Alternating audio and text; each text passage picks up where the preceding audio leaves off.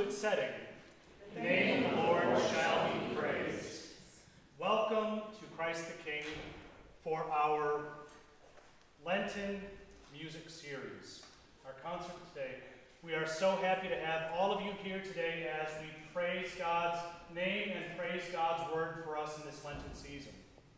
We open our program today with a medieval antiphon recast by Martin Luther and later set to music by Felix Mendelssohn.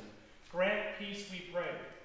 It is a prayer that has been offered by the church for centuries and is still needed very much today. And speaking of how much we need it today, considering uh, the war going on in Ukraine, after we sing Grant Peace We Pray, offering plates will be passed to receive a free will offering to benefit the Lutheran Church of Moldova, which shares a border with Ukraine and is struggling to meet the needs of countless refugees. Christ the King has a special personal connection to this church body, and we thank you for contributing whatever you can. And if you're watching on Facebook and feel so moved, you may send a donation to Christ the King marked Moldova, and we will see that it is included. Thank you. Enjoy.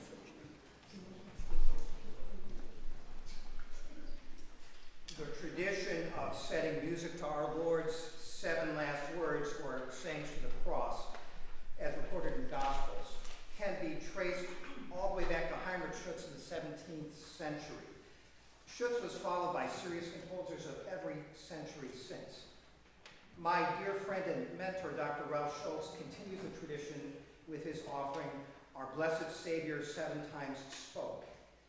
Originally composed in 1963 for the Concordia Choir, Doc revised it in 2005. It is set for a quartet, which sings our Lord's words, and a chorus, which provides narrative and commentary.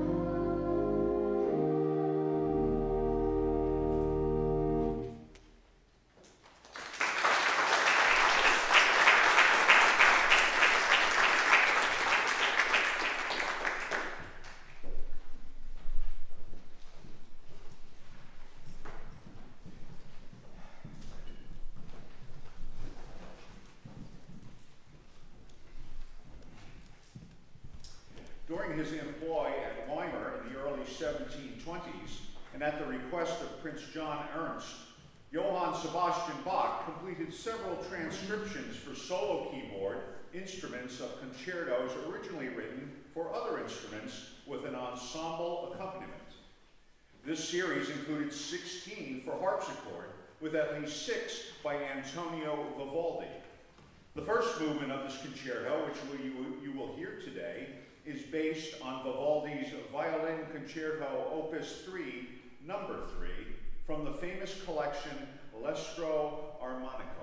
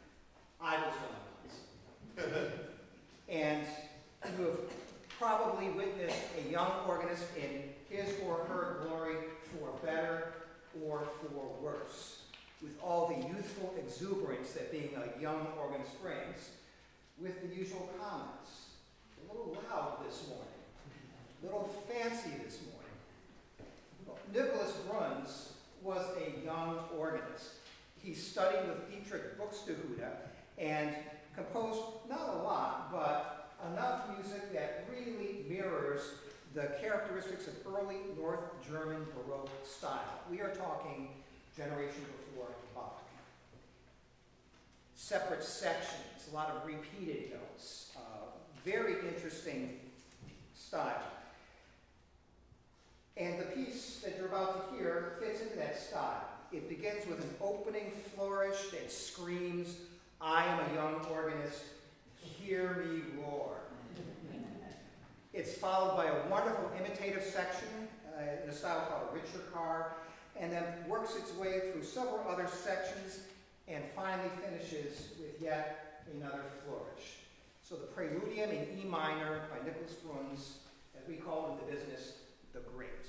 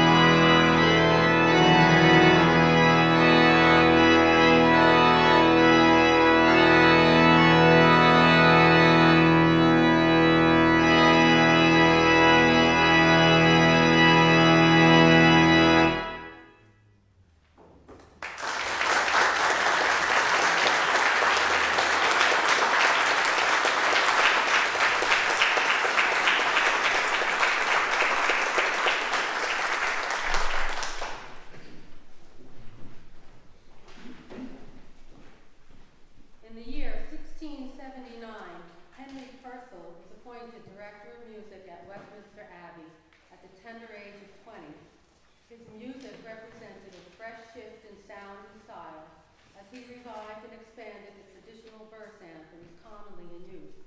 Rejoice in the Lord always, always known as the Bell Anthem, begins with an extended introduction intended to imitate pealing bells and proceeds to alternate the words of St. Paul between soloists and the entire choir.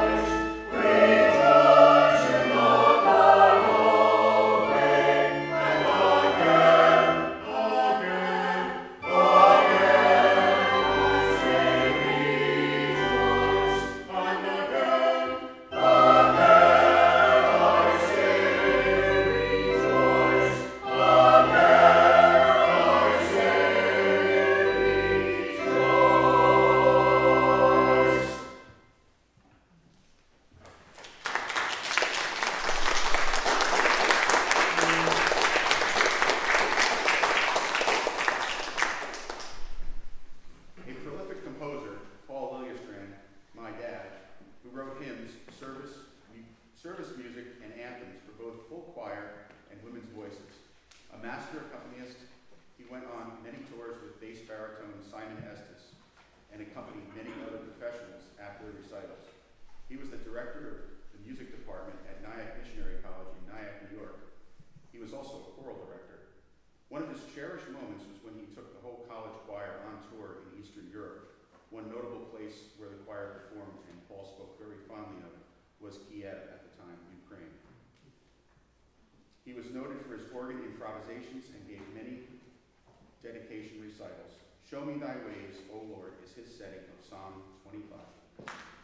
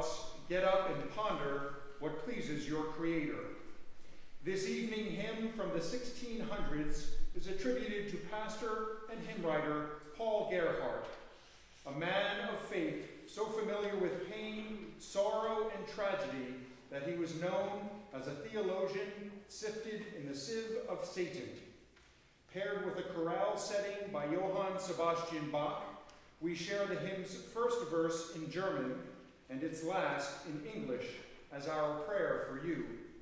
Thank you for joining us, and please join us at a reception immediately following the concert in our fellowship hall. May God bless us today, tomorrow, and always.